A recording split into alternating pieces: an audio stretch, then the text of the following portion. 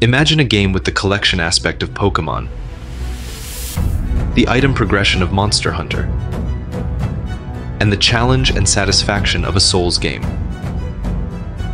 This game will be highly innovative, following a well-defined set of game design principles. I named it Solcian, and it is my dream to create it with all of you.